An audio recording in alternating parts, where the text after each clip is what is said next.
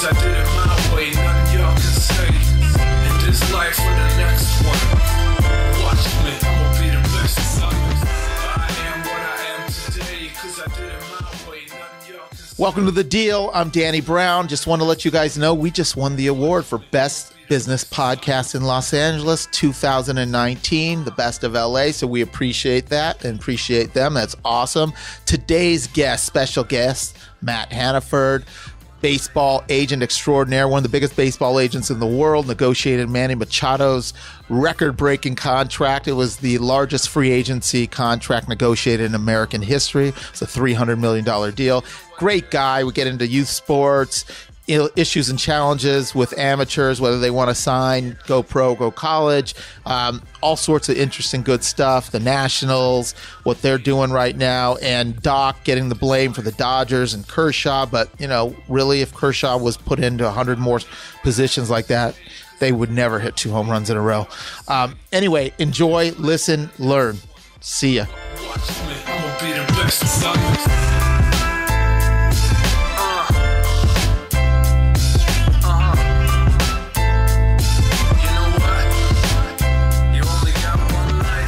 You're listening to The Deal. I'm Danny Brown. Special guest today, my boy Matt Hannaford from MVP Sports, one of the biggest sports agents in the world. Actually represented Manny Machado and uh, signed the biggest free agency contract in sports history.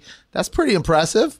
I enjoyed that day. It was a, it was a good day. Good for you. Good Yeah, for thank Manny. you. Thank you. Uh, my boy Lozo couldn't meet couldn't meet us today. He's in Washington D.C. He I is. hear He is. punk ass. So Yeah. he'll come next time. But Next time. shout out to Lozo. Um, you guys have built this massive baseball agency, incredible, focus on baseball. Why don't you tell me before we get into it? I know we're in the middle of the World Series, Nationals up 2 0, and we were talking about the Dodgers collapse. But before we get into all that stuff, why don't we start with you? Sure. And how you got into it, and were you a, where you grew up? Were you a baseball player, and how you got into being a sports agent? I, w- I was. So I actually was born. Not many people know this. I was born in Thousand Oaks. So you're local. Yeah. Um, at at I guess nine years old, I moved to Sacramento. Um, dad got transferred for work, so go to Sacramento, and you can imagine a kid who grows up in Thousand Oaks going to Zuma Beach as a kid. Yeah. Right. Mom's takes takes me there throughout the summer. And Boogie boarding, That's right. a good Sur- time. surfing, believe it or not. Yeah. Uh, and moves to Sacramento. And I remember driving up there thinking, where are we going? Right? like I've been on this freeway for, it must have been six hours. And we get off the freeway. I, I, I vividly remember this. We get off the freeway and we just passed Lodi and we're driving. And so we're driving and we're driving. And we must have been 20 minutes in. And I'm like, like where is this place right literally like cow pastures on both Yeah, sides right. That's and i remember Sacramento. coming up to a stop sign and then just getting around the bend after the stop sign and there's a barn on the right hand side of the road and then behind the barn and i couldn't see it yet but behind the barn was a like a mobile or a portable classroom. And my dad literally stops the car and he says you see that? That's your school. And like right then i remember at nine years old i started crying. Yeah. right? like my Beach. life is over. This is the worst. Yeah. and so um Oh, that's traumatizing. yeah. So i end up you know spending obviously my my what i call my formative years in sacramento which looking back reflecting back on it was the best thing that ever happened to me um, but i ended up going to elk grove high school prior to high school though i played uh, baseball i played hockey ice hockey Okay. i played a year of football a year of soccer and then a couple years of Well, basketball all So- sports. you were involved with all the sports. yeah, and we could talk about that later, but how, you know, during my childhood, that was what was normal, Yeah. right? Kids, there was no year round, No specialization. Right. Um, it was actually, I guess, probably more frowned upon if you were going to play one sport versus others. So, Yeah. Yeah, so I ended up uh, Were going you in Sacramento, the city, or one of the suburbs? one of the suburbs. So, Yeah. the high school I went to was Oak Grove High School, right? Is that the area, Oak Grove? so Elk Grove was where I got off the freeway. Okay. so where I grew up is a place called Rancho Murrieta, which was 30 miles in the middle of nowhere. Boondocks. Yeah, 30 miles. So every day, which in a weird way, I, I think back on that time and it it taught me so much about life, like preparation. Because you got to imagine as a kid, you know, at 13 years old, my mom's taking me to school, or I'm getting on the bus, or my sister's taking me to school. And like, you have to actually plan out your whole day, right? I'm not coming home till seven, eight o'clock at night. so, it. what do I need from now until then? Yeah. Um, but I ended up going to Elk Grove High School, and at that time had shut down every other sport except baseball.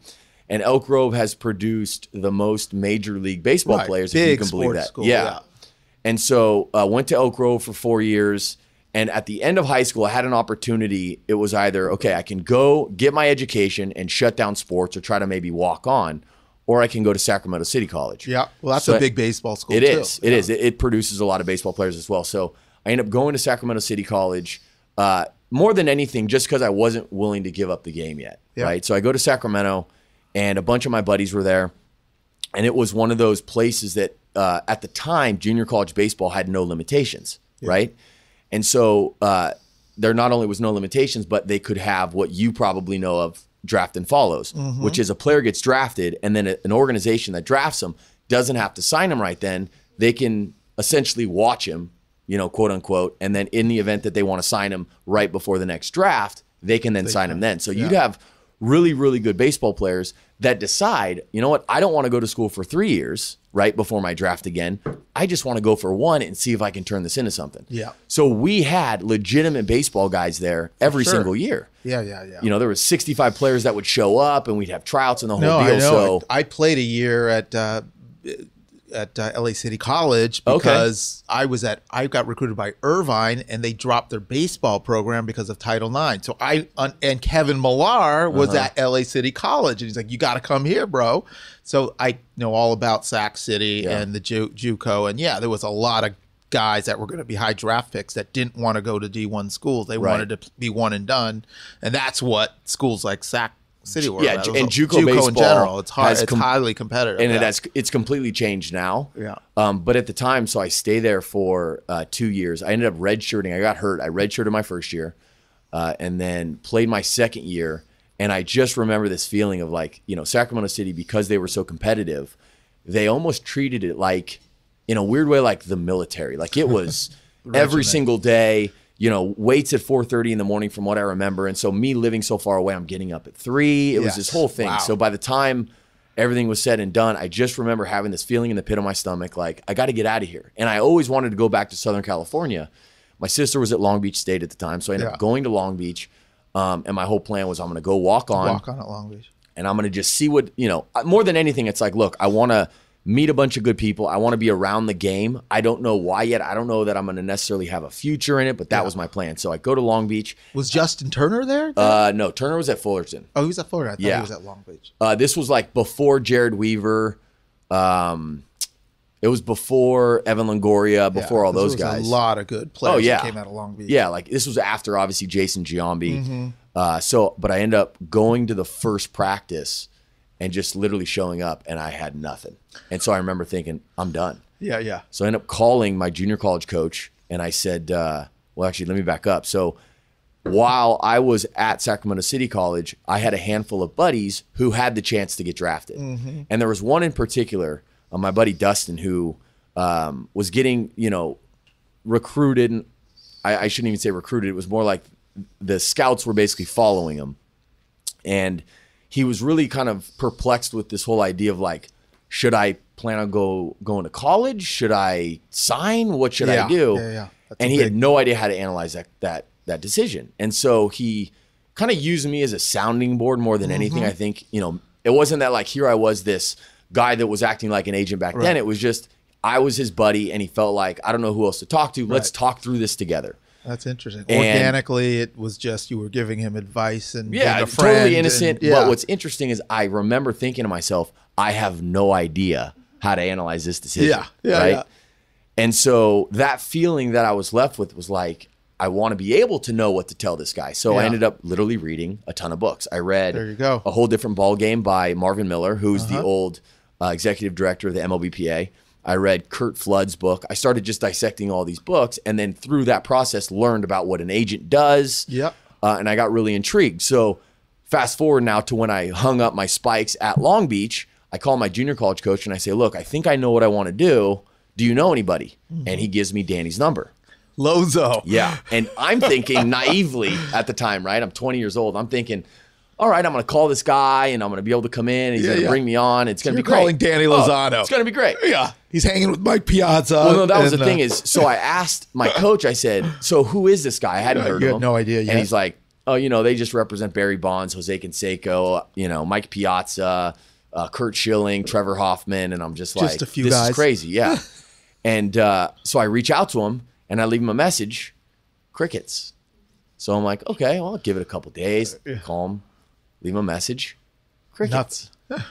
And so I gave it, it was about, uh, I would say about a month where I was calling like once a week. Yeah, And I played with a handful of guys that they represented. Got it. Right. And so I'm in the voicemail, like, you know, so-and-so. creatively dropping. Yeah. I played with Doug Redvig and I played with Joe Thurston, and you know, like you can trust me. Yeah. good.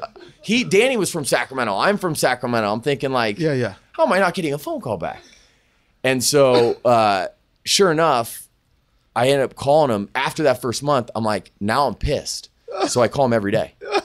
I called him every day for another five months. just leaving And so- voicemails or yeah, messages. just voicemails. And it was like it was the same. I got to a point where it was like, okay, now I'm gonna leave you the same exact message. So I left him the same message. Sure enough, six months later, uh, he finally calls me.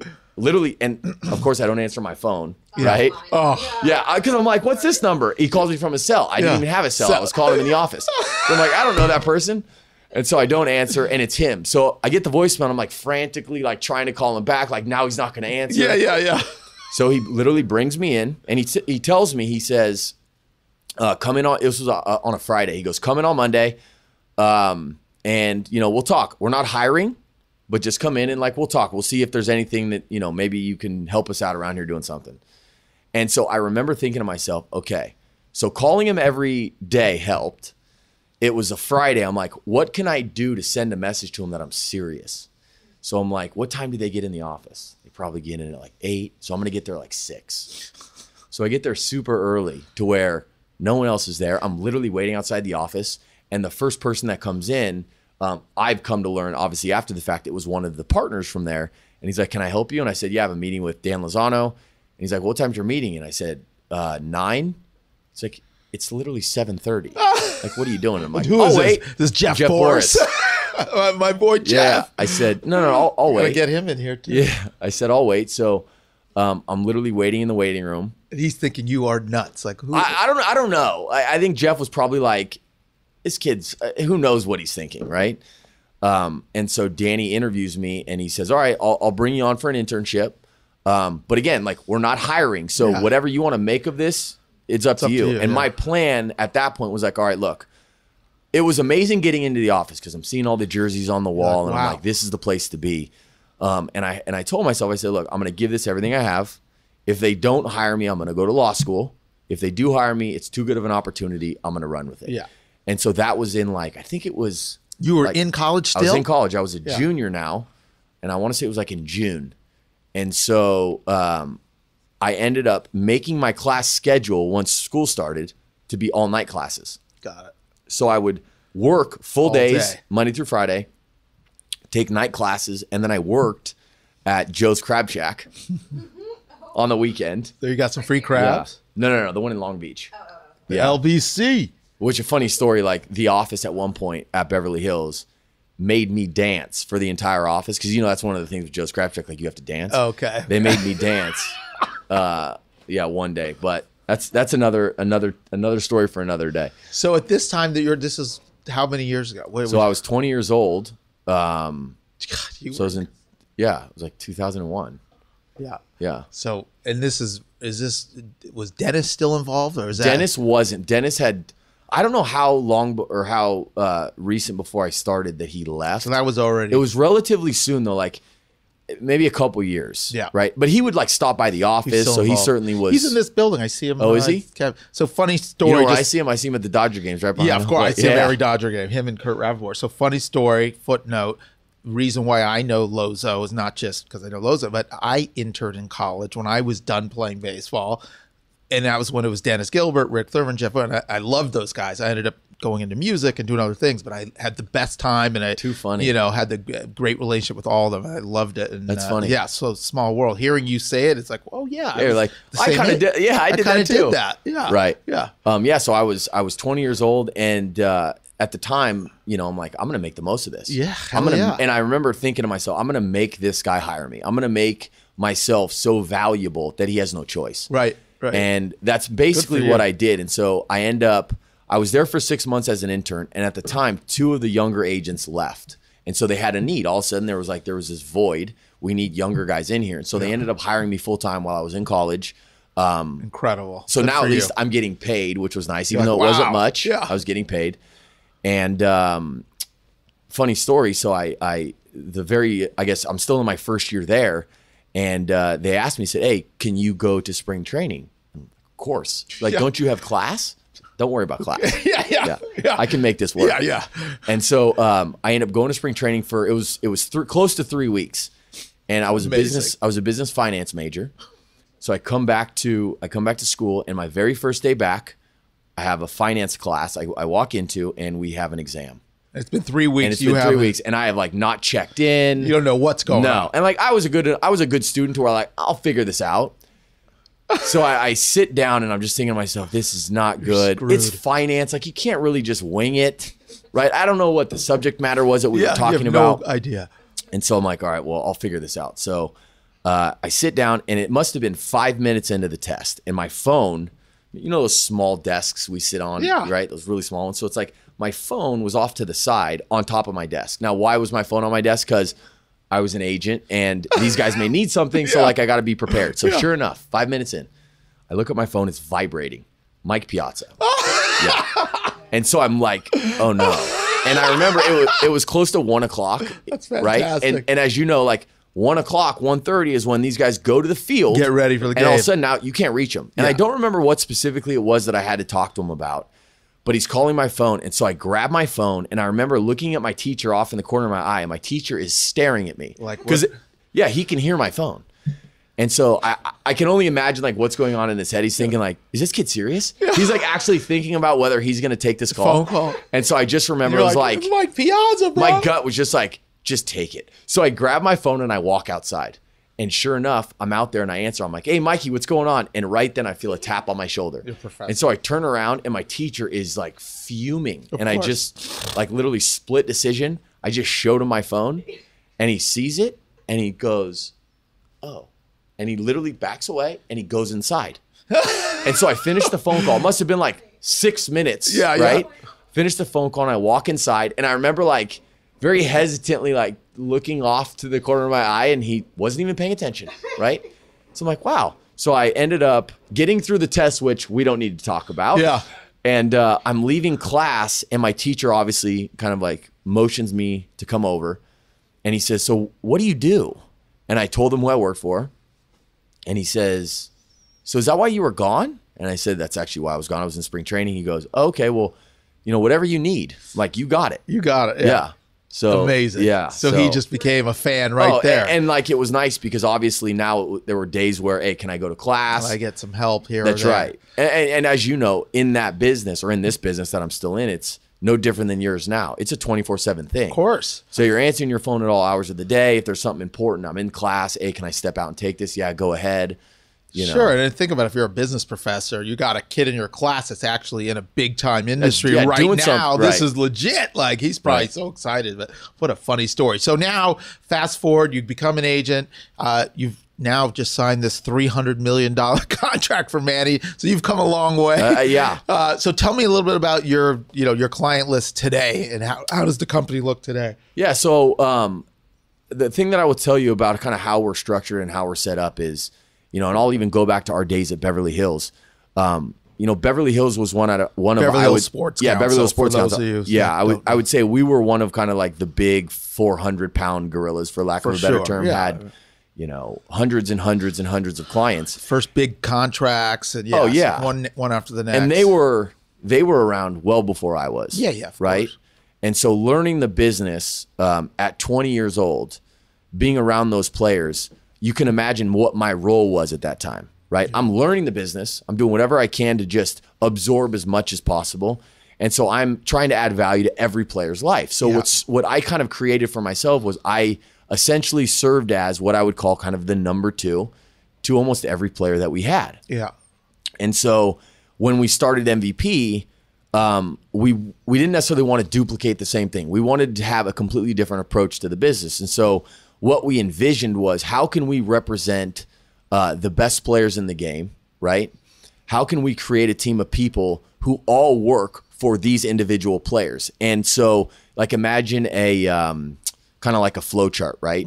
Where a lot of agencies, I think in every sport, the way that they're structured is you're going to have an agent, and underneath the agent, you're going to have several people, and then underneath the people, you're going to have a bunch of players, right? And so, depending on the level the player's at in his career, he's going to deal with one particular person. As he moves up, he's going to move up along with them, and then eventually kind of deal with the head guy down the road if and when he gets to the time to sign for a big contract. Yeah. We wanted to structure completely different. We wanted to figure out, okay, how can we provide the same level of service and representation for a guy like an Albert Pujols or a Manny Machado, um, and and and essentially duplicate that for a younger player who, let's say out of the draft in the minor leagues coming up, right? And so my focus has always been, and I'll speak for myself, is how can I add just an immense amount of value to a player's life, right? And if that is our focus at all times, you know, we're going to always have really, really good players um, and be fortunate to do these really, really good deals. Yeah. So- and when you say adding value to their life, you mean business advisor, friend, therapist, Therapist, family, everything. Everything across the board. Absolutely. All sorts of personal stuff, all of it. yeah and and you know i think when you're in the business like there's a term that i like to use autodidact which is basically like you're a self-educator right and so i take whether it's classes go to seminars i'm constantly feeding my brain with information because if i can add uh, one little thing in a conversation with a player who may who maybe is like 0 for 30, right? Yeah. He could be in low A for all I know. Yeah, yeah. But he's over 30 and he's clearly struggling. If I could say one thing that he can then take away and and you know it helps him in any fashion like that's that's my job essentially right Totally. and so i've looked at this and i've said look okay i know how to negotiate a really good contract right i know how to guide a player from the time he's 15 years old let's say until the time he's 40 right but what are those things in between all those little um, you know intricate details how can i improve on those things as well and not just thinking about the two extremes and ignoring the rest really focusing on kind of the meat and potatoes there in the middle. Um, and so that's where i've uh, you know i've separated myself i think in um, the business and i don't know if this is something you want to talk about but i feel like the business of baseball i'll just speak about that because I'm, Yeah, I'm yeah, so familiar i think sure. it's changing quite a bit right? Especially the representation business. You have um, you know everybody watched the movie jerry maguire and had this romantic vision of uh, you know being around professional athletes and you know walking the red carpet and Yeah. ooh you know being the person that's going to lead him down this path. And so the market was basically flooded with a bunch of these individuals that said hey that's what i want to do. And Yeah. so i think what started to happen is you know people would get a little bit of experience. Maybe they had a buddy who uh, was a superstar in high school and maybe goes to college and that guy says you know what? I don't want to be with a big agency. I want to be with my buddy. You know and if that if that uh, player is fortunate enough to have success gets to the point where now he's going to sign a big contract and decides to stay with that buddy maybe that buddy has an opportunity to do the contract. Yeah. and if he does now does he build a practice off of doing that one Does he contract? leverage it that's off- right. And so that's happened so many times that we're being surrounded by all these agents that um, are following this checklist, right? And they say, okay, if I can check all these boxes, I can represent a player. If I Yeah. talk to them about equipment, I can represent a player. If I talk to them about card signings, I can represent a player. If I can talk to the team on his behalf. Yeah. And so they start analyzing that way. And the unfortunate part is um, what's starting to happen in our business is okay, so how do you separate yourself then? Okay, I got to offer more services, right? Okay, well, you're going to offer more services for the same price. So you're doing more and more and more work for the same amount of money. And so you slowly start to see all these agents' heads explode. Yeah. And so my focus, instead of having that be the thing I'm, I'm paying attention to, is how can I not worry about that and really focus on just continuing to add massive value. Yeah. And so that's my big thing is like add massive value. That's your anchor. Keep coming back to that. Don't chase down the more services or cutting fees or this or that. That's a game you can't win. No. And it's I could totally relate as an agent in our business. It's very similar. There's people that had one big client that bought one big house and I can't tell you now how now they're in the business or their family they're going to get their license, sell their family's big house, and now we're in the business. We're trying to leverage it. There's so much of that. Yeah, we probably deal with a lot of the same stuff. You know, I get players call me all the time and they say uh, they're uh, at the end of their career, "Hey, I want to be an agent. It looks like the best job in the world." Yeah. and it's great. Like, don't get me wrong. I'm not trying to downplay it by any means, but Right. it's not that simple, No. right? Like any job, there are great things about it, and there are things that are really, really it's difficult. really hard. and Big- it seems like real estate's the same way. It is the same way, although I'm not dealing with 16 year olds from the Dominican Republic that making making decisions, and my my my livelihood and my family's livelihood depends on it. Where you are every day, that's Right. the game you're in. Um, I'd love to hear. I'd love to hear. There's so many ways to go, but I'd love to hear so people have an idea because you said even though you're at the top of the game and you're representing some of the biggest players, uh, you also said that there's some guys that you know you'll take on at a high school or college, and I want people to understand when someone signs at a high school or college, yes, they get a bonus if they're a top guy, but talk talk to me about what is the minimum, the first year, second year minor leaguer salary, right. what their life is really like, Sure. uh, where they're living in the motels, what they're Uh-huh. the, the reality. Because when you go, when you're in baseball, you don't go to the show. You know, it doesn't matter who you are. No, so, So tell us a little um, bit how, what it's what it's like and how hard it is to make it, even if you're a top draft pick. So I'll actually go even further back. Uh, what's unique about today's day and age is youth baseball is looks completely different than when I was experiencing it and you were experiencing it, uh, right? yeah.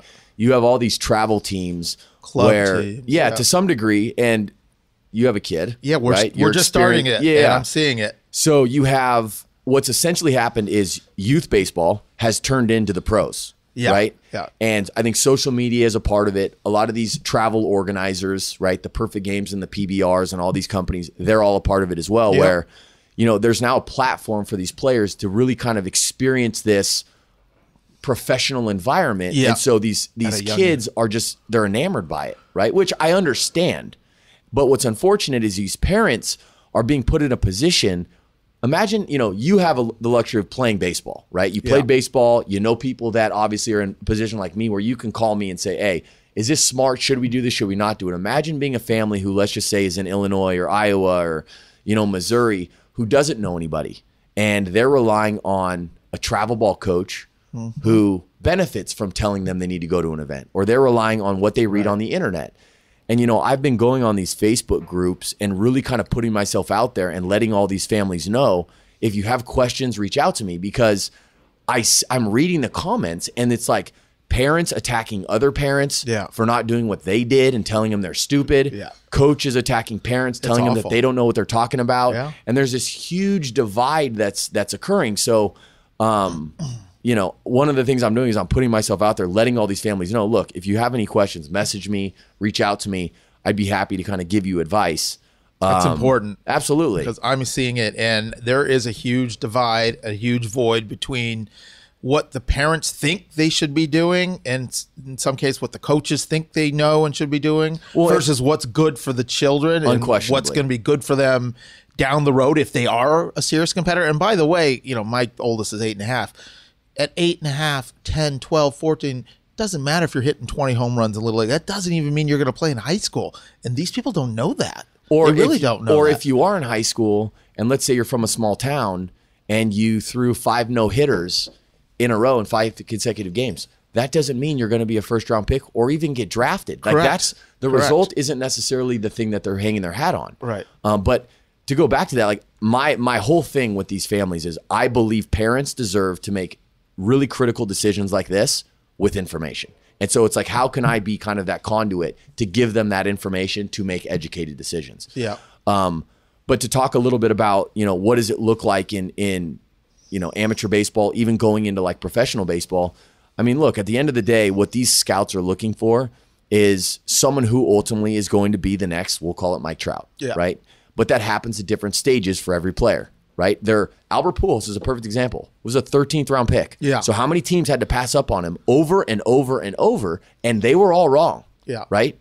There was one scout that was kind of right, kind of, because it's not like he signed for a ton of money. Yeah. He didn't. He was a 13th round draft pick, right? So, um, but no, when you get into pro ball, you know, you're making uh, we'll call it to make it you know simple, close to a thousand dollars a month, Right. for five months. for half the year. yeah, Right. And so if you're somebody who doesn't sign for a lot of money out of the draft, you're getting a job in the offseason. Yeah. Right. You're you're essentially putting your life on hold to see if you can live this dream. Yeah. Right.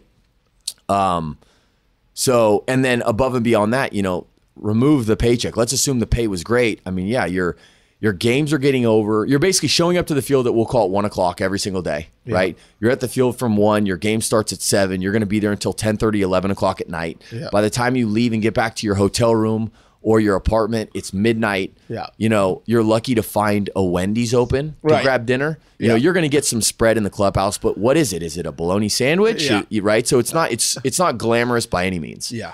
And this is years. This Um, oh, yeah. is not like one season. No, the average player is so out of high school, the average player spends five and a half years in the minor leagues. Yeah. The average player out of college spends four and a half years in the minor leagues. Yeah. Right. And then the way that the pay works is you're making next to nothing in the minor leagues like that, right? You're getting an incremental bump every single year, but we're talking fifty to hundred dollars.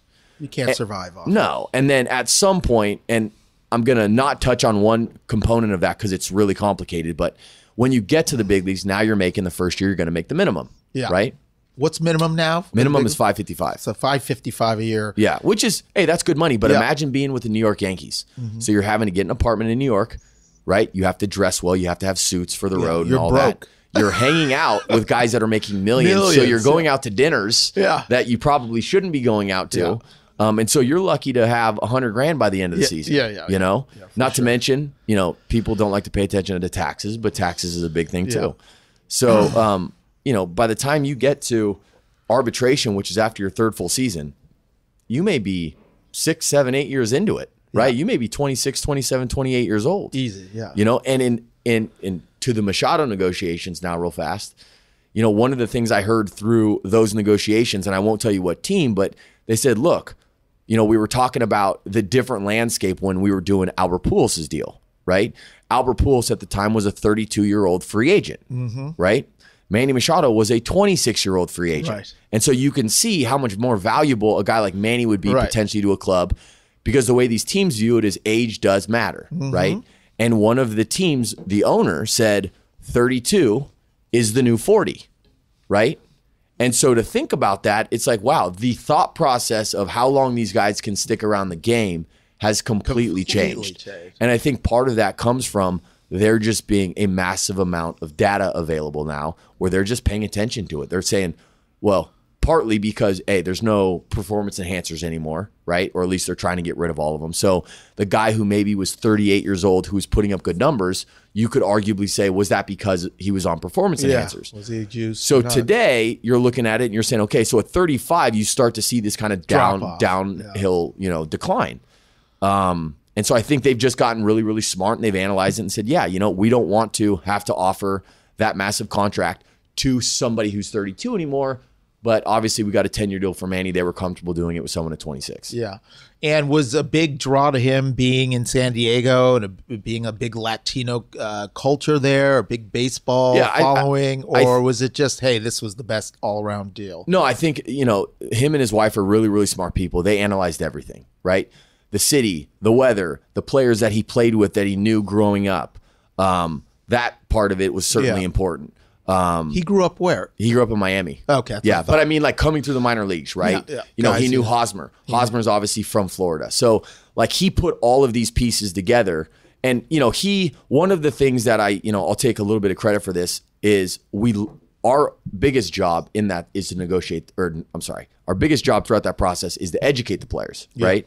And so when you're talking to these players about, um, this big of a decision, right? They're looking at you for guidance. Like, hey, look, man, here's my thought. What are your thoughts? And so you're kind of formulating their thought process as you go on, making sure that they understand, look, you know, let's throw all this stuff down. Let's let us help you kind of walk through this situation and how you should be thinking of it. And then really kind of dive into it even deeper the more, you know, you go into that negotiation. So Yeah.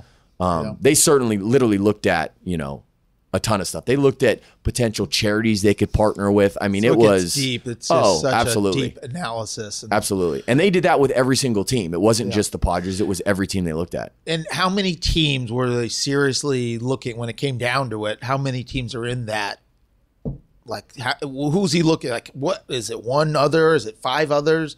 When it gets down to that level of a contract with that kind of a player, how many teams are in the running that you're really talking to? It There were at that time there was four teams. so it, so it gets becomes a Um, it becomes yeah it becomes much smaller the more you go in. Um, you know but the unique thing about the negotiation this past year was you know we ended up signing in february right? And so if you go back to the time albert uh, did that deal we did that deal in december right? And so what was unique was um, you know if you would have asked me were the padres going to be a team in december i probably would have said i don't think so right I don't think they're going to be, and they could, but I don't think so. Um, but the longer the offseason went on, you know, the more these teams have the ability to kind of piece and and you know, I think what they ended up doing ultimately was, hey, let me put Manny in our lineup and let me see what that looks like, and what team wouldn't fall in love with that Yeah, of idea, course. right? Uh, so let me switch it up a little bit and we can uh, i want to talk about your take on signing out of high school versus going to uh, college and getting the full college life experience knowing that especially sitting from where you're sitting but knowing that there's plenty of top draft picks that never make it to the show that never get there. So you know balancing business where hey you want to make money your job is to get the best players and give them the best contracts. But in terms of like on a personal level with your experience what you've seen and if you were going to say hey here's my advice to to my son mm-hmm. or my brother on hey high school or college and why pros and cons and why because i know it's not black and white and it's different for each player and depending where they where they're from and where they're going. So that's the first part of the question. The next part of the question is what do you think about what's happening with now college players are going to get paid and what's your take on that? So first start with the dilemma of do you sign out of high school or do you go get the college life experience So I think it totally depends on the individual, right? And I don't think I would not be doing my job if I gave you any other answer. And so, you know, for me to answer that question with every individual, I have to ask a ton of different questions, Yeah. right? I have to analyze, you know, where are you at with school? Is is are do you look at yourself like a student? Do you want to get your education? Does that even sound appealing, right? But mm-hmm. you're having to kind of balance that side of it and then also what's the smart thing to do for you baseball wise right? If and I'll, let- let's play this out. So let's just say uh, you have somebody who's a shortstop who um, is going to be a potential we'll call it um, second round pick right? So has the chance to sign for some money maybe not a ton but he has a chance to sign for some. As an agent, knowing what I know, if I was in that player's shoes, the way that I would be looking at that is I'd say, okay, um, I understand that the more money I sign for, the more opportunity that I'm going to have in professional baseball, right? If a team invests $2 million into me versus $6 million, you can understand that the $6 million figure is going to obviously entice them and force them to have you get to the big leagues, whether it's sooner or potentially just More you know, chances, That's right, exactly. So um, if I'm that player, that's that's one of the things I'm focusing on, and then I'm balancing that with do I want to go to school? And so the conversations that I will have with players is they will flat out tell me like Matt, I'm not going to school. You know, I want as much money as I possibly can. Just I'm not a student, man. And so that player, it's it's a little bit more easy to kind of go through that process, right? Because they just want as much money as possible. Um, Now, but what for- if it's not that player? What if it's someone that's a good student that wants to get educated, that wants to think about life, business, uh, you know, after baseball, but they are going to be a first round draft pick? Where I don't know what is a first round draft pick. I mean, you could You're a pitcher. If you're a stud pitcher and you're going to be the first ten guys drafted, couple, you I, know, I love having this conversation. It's such a a it's a it's a really loaded question, and so let's like dive into that a little bit. yeah, I'm right? sure. Yeah. there's so, So there's a kid I I uh, advised a couple years ago out of he was initially out of Colorado, kid by the name of Cole Winn with the Texas Rangers. Uh-huh. okay. And so Cole Winn was a kid who, um, this is, is actually a really, really interesting story from the start. So Cole Winn was a kid who was committed to Notre Dame, right? I end up meeting the kid. Uh, it was in it was his sophomore year in high school. He had just Already. gone to an event. I end up meeting him and his family, and he was committed to Notre Dame, right? And so I saw him throw, and I saw this kid is going to be good. I didn't know how good quite yet, but based on all the individual people that I spoke to, I was willing to trust their assessment, right? And they were telling me this kid's going to be a superstar. So I ended up meeting him and his family. And the nice thing for me is, just like it's for you, when you deal with a client who like they are they are the nicest people I've ever Yeah, met. it's a pleasure. Super respectful. I, I thoroughly enjoy talking to the family, the kid. Like to this day, I could talk to him for two hours every day. Yeah, they right? become family. They seriously, and they and they certainly did. Um, and so, you know, one of the th- first things he tells me is he's like, "Look, um, you know, I committed to Notre Dame extremely early. Um, you know, I'm not so sure. I really don't hear from the coaching staff much, and you know, and then for me, it's like, okay, let me get to know this kid. Like, what's important to him? What makes him tick? And so, all of these things that I'm gathering from him, it's obviously going to go into kind of my guidance to what I think is best for him because I can't, I don't want to be the guy that just tells you, hey, so we're going to look at this the same way I looked at this for Albert Pujols Yeah. or Manny Machado or Josh Donaldson or Joey Votto. I'm not interested in that. Yeah. So what I ultimately learned was he actually didn't want to go to Notre Dame. It was, it, you know, he ended up going to uh, Notre Dame. He took a trip and great school, right? Yeah. He had a phenomenal time, but he just felt like he was forced into like just making this decision and committing. And so reflecting back now, obviously he's got a ton of schools that are now reaching out to him. And he's like, you know what? I really, I just don't see myself going to school there. And so when he said that, I realized, okay, you have to decommit because I don't want you to be in a position where you're going through the draft process knowing that you're not going to go to school because we don't know how the draft is going to go. Yeah. You can think, "Hey, I'm going to be a first rounder." You know, it's it's it's already, you know, I've already done all the work. It's it's proven I'm going to be Yeah. You can think that way and then all of a sudden, knock uh-huh. on wood, there's an injury, right? Knock on wood, uh, you don't throw well in front of the right people and now you slip in the draft. So it's not a no brainer. That's right. Every so time. I tell, I told him and I told all my other kids, look, you need to put yourself in the mindset of you are going to college. Because if you can do that and you don't go to college, it's only because a team just paid you a ton of money to buy you out of that opportunity. Yeah. But if you end up going to college, you're not you're not disappointed. You're not bummed. Right. Yeah. You you were planning on going to college, Yeah. right? And so what he ends up doing is he then goes to visit a bunch of different schools. He ends up uh, deciding on Mississippi State, Mm-hmm. right? And so fast forward now, he's now going into his senior season. It's the summer of his junior year. And uh, he ends up transferring out to Orange Lutheran in Southern California. Oh, wow. Right. Okay. Dad had the luxury of getting, you know, business was good out in Southern California. Um, and obviously they paid attention to, you know, how many first rounders had come out of Colorado, you know, and I reached out to a bunch of different teams and scouting directors. And what I ultimately heard was, you know, it's very hard because of the weather and where the scouts are located to get in and out of Denver, um, you know, and do it enough to see him as much as I would need to see him to, be a first round yeah. pick. Exactly. So uh, what ends up happening is, you know, family again fortunate enough to, to transfer out to Southern California to go to Orange Lutheran. The kid ends up being a you know 15th overall pick. Um, but that analysis through that a week before the draft or two weeks before the draft, maybe there was an incident. It actually was longer than that. It was about a month before the draft. The Mississippi State coach ends up getting fired from Mississippi State. And that was the reason why he committed to Mississippi State. And so, even at that time, a month before the draft, I knew he was going to go good in the draft. I didn't know where, I had no idea, but I knew he's going to get what he ultimately wants. Yeah. But even then, I said, listen, Cole, you have to find out. Another, we have to go to another school then. We have to, because I'm not going to have you go through the draft process knowing you're not going to college Right. if your back's against the wall, I want you to make a decision with all the information. And I need I would feel more comfortable if you said, look, I'm hoping that I get signed. I'm hoping that I go, you know, to pro ball. But if it doesn't happen, I know that I have a good fallback. I needed him to have that fallback. Yeah. So that's a guy who I, I would say there was a 2% chance he was going to go to college. But still, you have to set it up to where you're finding a good backup plan. Yeah. Yeah. And with the guys that you're bumping into at that high level, the first round guys, is could you say, hey, it's 50 50 what they're thinking, what they want to do? Or is it they're No. first round guys, they know they're getting big money, most of them want to go pro? Or is it, is it just So completely different each time? I think you have to look at it and say, okay, well, where am I going to get drafted? Right? If I'm a first round pick, what are my what are the odds that I improve my draft stock come three years from now? Right? If I'm a 22nd pick overall, okay, I can get drafted 21 picks higher. Right? What are the chances of that? That I can do what is the risk? Right?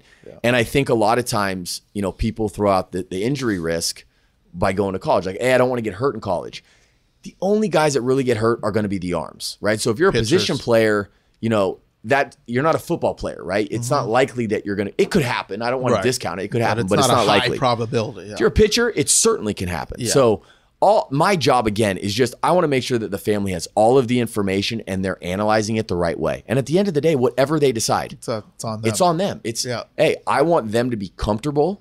If I feel like the family's not analyzing it the right way, then we're going to keep talking about it. Yeah. Um, but those are conversations we have literally starting in January, and we're talking daily leading up to the draft. right in You know? So yeah. And then what is your take now? Then the other side of this coin of hey, college players are going to start getting paid. Uh, do you have a stance, a view where this is going to lead? What's your take on it? I don't know. I, I think we have to, you know, we have to be patient and see how it plays out. I think baseball is different. I think with basketball, really, and and not so much in California basketball, other than guys that go to maybe UCLA, but really football Football's players. big- Those are the guys, you know, the quarterback at USC who's going to have an opportunity to do these deals. That's the guy that's really going to see an effect from this. Right. But like a baseball kid, Yeah. I just don't see Not the shortstop at Fullerton. No there's just really- not a market for it, Yeah. you know? And so I think we all have to be patient and like let it play out and let's see how, you know, how this goes. Yeah, I'll be interested to see because when I think about that part of it, yeah, I don't see big time business happening unless you're a big time football or one of the big time uh, basketball guys. But if you are that shortstop at Fullerton, maybe you get a thousand bucks from Ford and Fullerton to come and sign. I don't know. You know, maybe there's a Yeah. little money that some guys can make here and there. It's not going to be life changing money or things that Right. at least you know, at least unless you're the stud quarterback at Notre Dame or SC or Alabama or whatever. Yeah, I just I, I mean we're so we're so early into this really going down that I don't quite know yet how like what the what the residual effect is going to be. Yeah. Um. You know, so I mean, look, we'll we'll certainly see. I think to see how hard these guys work in college, I think they do deserve something. Yeah, right. sure. But I I- I don't think that it should ruin, you know, the college game. And I'm not saying that it would, but that's something that we all will pay attention to. Yeah. What is your uh, your take on like one and done? I know baseball doesn't really have that, Yeah. so it's not really a baseball thing. But do you have a feeling, uh, pros or con, against basketball or football, where it's you know guys aren't they're going to college, but it's one year and they're getting drafted. I like that that football and basketball actually tell their guys to go to college. I think it's why you see college basketball and football being so good. Yeah. You know, if if college football players had the luxury of uh, going to the NFL out of high school, yeah, I don't think college football would be what it is today. And so Sure. when I look at college baseball, I wish college baseball um, was better. I wish you could see you know these teams truly competing because it's such a special sport, and I think that like you know, for the most part, the country kind of just like, oh yeah, baseball's on. That's I totally forgot about that in college, anyways. Right, right. Um, and I also think, look, I think professional baseball does wonders for the development of players, but I think there are some programs in college that can also do a really good job as well. And so, uh, giving these college coaches and strength coaches an opportunity to work with some of those young up and coming superstar players, I think would be neat to see. Yeah. Um, I, I actually think that they should have wood base, uh, wood bats, Wood in college. Yeah, yeah. yeah. I think it should start there because it's so difficult for these scouts to evaluate a player based on, you know, them using these these metal bats. It's like you have you have no idea how they're gonna Adjust Yeah, what's wood. gonna happen? What's gonna happen when this kid's in, uh, you know, again Burlington, Iowa, in the Midwest League, and he's using a wood bat, not for the first time because he's played travel baseball and he's tried it out, but for the first time where that's all he can ever use. Yeah, right. Yeah, it's 400 at bats. What are you going Right. to produce? I think it would only it would only help the game of baseball if if these uh, these wood bats were in college. And honestly, like if I was a pro team, I would provide the wood to all these colleges. Like Yeah. MLB should get together, recognizing that it's good for the game, and come out and say, yeah, we'll donate X number of wood bats to each Yeah. program, and like divide it up amongst yourselves. you know, and you know who's really the pure hitters and Right. who are who is really taking advantage of the aluminum, but not really the pure hitters. So, what is um? I'd love to hear some funny stories. I'm sure you got so many, but if there are any interesting tidbits, anecdotes, players that have big personalities, funny stories, anything you feel like yeah, that you're allowed to share, at least with the also like there's only one guy that really comes to mind, and it's Brian Wilson. yeah, Right. He seems like a character. So Brian Wilson is like my brother, so I'm comfortable enough sharing this. like you're saying his name. Yeah. But he he is somebody who you know, he was at Beverly Hills, and then uh, shortly after I went to and started MVP, he came with me to MVP. And it was right, you know, we left in 2010, so it was right in the Giants winning the World Series, him Got it. closing out the game. Yeah. You know, the spandex tuxedo, yeah, it was all the that peak, stuff peak peak of his.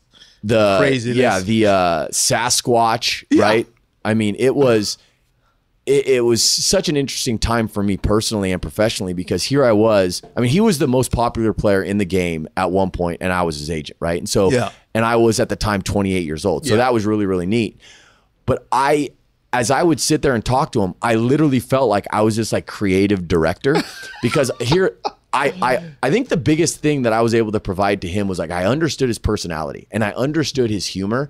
And so I kept telling him like we need to do something about this. Like we need to build this up and we need to we need to hone in on this and like you know it, it was just such this too unique good thing. not to. And so I remember when um when he did the spandex tuxedo, he he I don't know if it was a text or a phone call, but he says, "Hey, I just ordered this," and he sends me the picture, and I'm looking at it, and I'm like, "What is that? It's like a penguin suit." Do you guys remember the spandex Yeah, of tuxedo? course. Yeah, it was at the ESPYS, and so I thought it was a joke. There he goes. Exactly. I'm in one of those pictures, like. Oh it's so funny, and He so didn't get you in the penguin suit. no, thank God. I wouldn't have done it.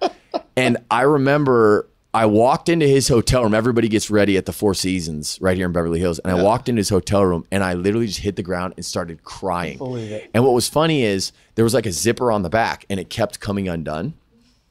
And so he ended up taking it off and I, I think he had to like put it on backwards and then like pin it right here. And so I had to go in front of him and I'm like trying to pin it on him. And he literally like he's somebody who doesn't like like people close to him. and so he like almost has a panic attack. And I'm like, dude, you're in a spandex tuxedo. You're about to walk the red carpet and you're worried about me pinning this on like Yeah, yeah. w- You're where- focused on the wrong Yeah. thing here, buddy. and so I just remember stepping out and seeing the look on people's faces. Like that was probably the most fun I've had in this business. Mm-hmm. To see a guy who, like, we would all talk about doing fun stuff like that, but nobody would No ever would do it off. This guy actually did it, and the then would do it to do it. repeatedly. Yeah. yeah. I mean, he was, he's one of the smartest players I've ever met in my life. Yeah. Yeah. Where's what's he doing now? Is he So, working in baseball? You know what's funny is he's actually uh, he's building a home in Oh yeah, I heard that. He's developing. Yeah, he's developing a home. That's right. He's he's still Malibu doing this one. No, it's in it's in Hollywood. I want to say it's off like the Bird Streets. Yeah, could be. Yeah, that's Um, right. I remember. I do remember hearing. Yeah, and he's uh he's still he's still building it. It's not I don't think it's far away from being done. I actually Yeah. was with him uh, a week or so ago. Um but yeah, he's one of my my dearest friends and we'll be brothers forever. Yeah. classic. Yeah. Any other fun Cuban Dominican players? So I've heard some stuff through the years, but some Yas, P- some Puig stories. Oh God, I've heard some crazy stuff, but I, I won't I- mention it. I'm trying to If you, think if of you any can, if you got any other good stories, What's it like when someone gets traded? when someone gets traded. So uh, it depends on the player. I mean, obviously, you know, Manny got traded from the Orioles to the Dodgers, right? And that was right around the All Star game, if you recall Yeah. last year.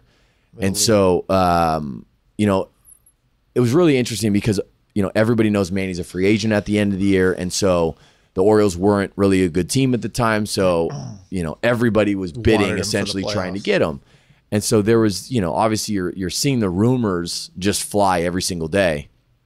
And um, the unique thing about his situation is he played on the Orioles. Well, the Yankees were one of the teams that wanted him. They're in his division, East, right? Yeah, East. Um, you know, there were countless teams that wanted him, but they ended up, if you recall, uh, waiting and waiting and waiting. A lot of people thought it was going to happen in the offseason last year, and then he ended up going to spring training with the team. So they ended up doing it right after the All Star break. I think it was literally like the day after the All Star break.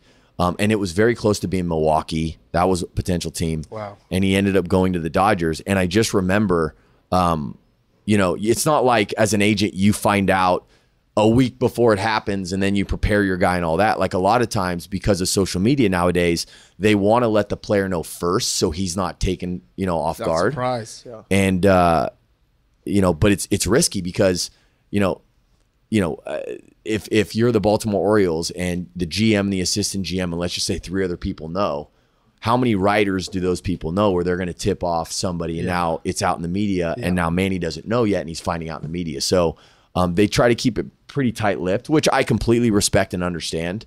Uh, so oftentimes it's They may call us and then call the player immediately. They may call the player first. It really just depends. So, how much time did Manny have to pack a bag and say, I got to get to LA? So it- I mean, I- is it like you're I- going in three hours, or does No, he so- know oh, we're in the we're getting deep in negotiations? So, in the next couple days, we're going to be moving to LA. So he was told, from what I remember, the, so the All Star game is on a Tuesday. Monday's the home run derby, which is off for everybody, and then Sunday is the last game of the first half. I believe he was told, from what my recollection, if it serves me right, he was told on Sunday, "Look, I think it's going to be over the break, right?" But it wasn't definitive by any means. So he was tipped off of that. And then the All Star game is on Tuesday. We found out on Wednesday. So the next day, they had an off day on Thursday, and then they played the first day on Friday in Milwaukee. And so I ended up going to Milwaukee, met them. And so he basically, um, the All Star game was where? I don't remember. DC, I want to say. I believe it was in DC. And so he ended up flying. Uh, DC obviously is close to Baltimore. Went back Yep. to Baltimore, packed up his stuff, flew to Milwaukee. Uh, his wife came with him, and then from there went to LA. And So it's yeah, it's pretty like quick. oh, absolutely. It's pretty quick. Yep. You got to get your gear together. You're It's- and with your it's- kids, your family. Oh, and finding a place to stay, and it's it's not Yeah. easy, man. It, it happens really quick. really fast. Yeah. What do you think about Nationals here? Up 2-0 in the World Series. You know, they got Bryce Harper goes to Philadelphia. Uh-huh. Lee was just mentioning, and here we are. They beat the Dodgers. So first of all, heartbroken the Dodgers. But eh, what do you, how if if Kershaw if we do this a hundred more times and Kershaw comes in a hundred more, how many times are, is, are they going to hit two home runs? Yeah, I mean, probably not. Never? N- Probably not. Kershaw, and, and you know, Everyone wants to I blame under- Doc and Kershaw Well, and and that. that's a little unfair. And I'll tell you, like, he's a he's a phenomenal pitcher. He's arguably course. one of the best pitchers in our generation, right? And so I think, you know, I don't think fans understand the difficulty of coming when you're a starter, Oh, coming in in coming relief, in off relief, right? Especially in that situation. You know, hindsight's twenty twenty. We can all look back on it now and say, "Oh, that was a mistake." Well, if he gets out of that, everybody's saying that Clayton Kershaw is his hero. So, um, I think we all have to kind of look at it through that lens. Uh, but look, I mean, if I was Doc, I completely understand the decision he made. I mean, you're talking about again one, One of the, the best pitchers. yeah. If I'm going to lose, I'm going to lose with my best pitcher on the mound. Because can you imagine if he didn't do that and, And then threw someone else and they lost? Yeah. Now they're saying, well, how come you didn't use Kershaw in that Yeah, yeah, situation, yeah, right? right. So you're damned if you do, damned, damned if you don't. Of course, that's baseball. But the Nationals, I rem- so I have two guys on the team, Kurt Suzuki and Michael Taylor, and I remember when they beat Milwaukee the way that they did when Juan Soto hit that Yeah. base hit and scored the runs in the ninth inning. I remember, um, I remember telling Kurt, I called him after the game and I said, "Listen, man," and and he, you know, he knows it. I'm not telling him anything he didn't know, but I said, "This is how you go to the World Series. This is how you win a World Series because you start to believe as a team." This is meant to be, Yeah. right? And so you kind of just start walking around with this arrogance and Yeah. this, you know, um, Swagger and yeah, like you're invincible. yeah, And so then fast forward, beating the Dodgers the way that they did, Yeah, that's and then beating the Cardinals the way that they did. Now it's like that's why you know I was just in Houston for the first two games, and I saw one of my clients who's from Houston, um, and you know we went to the game and he was telling me, "Hey, let's make a bet. Hey, we're gonna beat, you know, we're gonna beat Yeah. the Nationals." And I just kept saying, like, "Look, I know you got Gerrit Cole throwing, and I know that you have uh, Verlander throwing, but I would take these other two guys against them all day long because of Lights the belief out. that they have in in that clubhouse. You know, um, and I have two guys on the on the Astros too, and you know, the Astros, you know, they're a very very talented team. They could pull this off. I'm not For saying sure. they can't. They could. But when you talk about the belief that you have as an organization, as a team, that like this is this, This is, is yours, time. it's your time. Yeah. I mean, good luck breaking that. Yeah, that's You know? pretty fast. So tell me really quick before we wind this up. Give us your some your client list, some of your big name players, just so we. So obviously, you know the the Pujolses and the Machados and Donaldson and Vottos, um, some young up and coming kids. We have Fernando Tatis out of San Diego, Yes, uh, Austin Riley with Atlanta. Yeah. Um, I don't know if you remember, he was a kid who came up and in like a month and a half between the minor leagues and the major leagues hit like close to of thirty homers. Yeah, yeah. yeah. Um, JD Davis of the New York Mets, uh, Ryan Stanek of the Miami Marlins, you know, probably their future closer. Hunter Wood uh, of the Cleveland Indians, Cole Tucker of the Pirates, uh, Jordan Luplow of the Indians, uh, Brian Goodwin of the Angels, right here, who had a phenomenal season. Mm-hmm. Solid. Liam Hendriks, the closer who had arguably one of the best relief seasons in history with the A's. Yep. So we, uh, Got a lot of guys. yeah, we're And- doing we're doing it good. whether they're your guys or not, who do you who would you tell us if we said, hey, who are going to be some either they're already breakout stars or on the verge of sort of younger breakout stars? I mean, we know the Mike Trouts and Sure. the, of the world, but who do you see as guys that we should look out for? So I'll tell you, um, Fernando Tatis Yeah. is he's next Stud. level. You can watch him on a daily basis, and you just are amazed by the plays that he pulls off. Yeah. Um, there's a kid actually that I represent with the Cardinals, a kid by the name of Dylan Carlson. Uh-huh. Um, had the best year of his career this year. Like he is, everybody compares him to the, being the next Carlos Beltran. Wow. Switch hitting center fielder, can basically do everything. Um, he's an impressive kid. Um, above and beyond that, you know, you have like, I don't represent him, but Jo Adell, right, with the Angels. He's going to be a special player. He's in the Arizona Fall League doing well.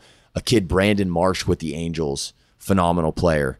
Um, I have a kid actually, uh, Sam Huff, who's a catcher with the Texas Rangers, who's a monster. He was the MVP of the Futures game. Yep. Hit a homer, I think, in uh, close to the end of the game, basically to take the lead. Um, he's going to be somebody that we'll hear plenty about. So Great. So we got a lot of we good got some talent. good ones. Jeremiah Jackson with the Angels. I mean, like list goes on. a lot of angels. The Dodgers they're- got they- a lot of guys. too. Billy Eppler, the GM of the Angels, has done a really, really good job. Matt Swanson, their scouting director, phenomenal job in drafting the right players. Yeah. It'll be exciting to see them come up and you know, obviously they have talent in the big leagues. It'll be interesting to see where Gerrit Cole goes this year. I know people are talking about potentially the Angels, but um, they have so much potential. They just need a couple pieces there, and they could be they could be a really, really good organization. Well, that'd be fun. Yeah. What would you uh, now that you are at this pinnacle of baseball success? What's the advice you would give a young Met? You know, someone who's just agent. becoming an agent or wants to be an agent, like, or the advice you would give to yourself starting out now that you know what you know. What would you tell that? Don't be anything that you're not. Right? Be authentic. Yeah. Um, I think in in everything in life, right? We don't even need to just talk about the agent business, but I think, you know, people use the term modeling, which I I understand and I certainly I think that's important to like look at somebody who's successful in your field and model what they've done to get to that place. But with that being said, do that to a healthy degree.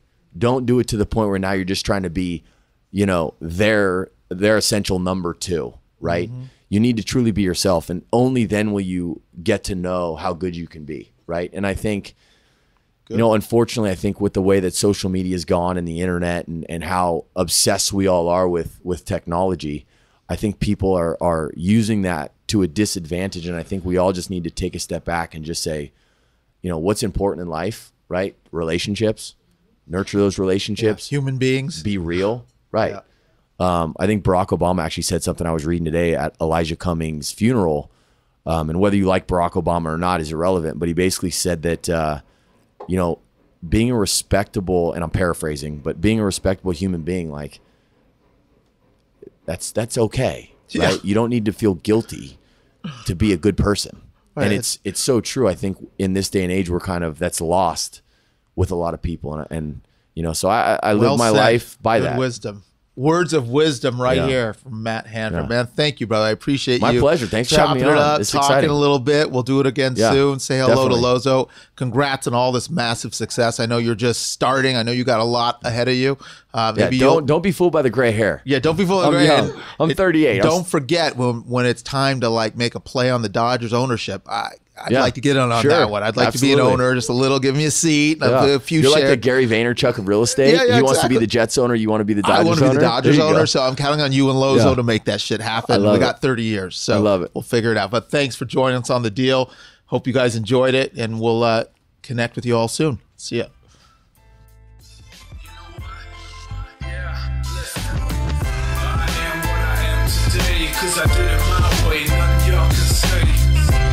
Life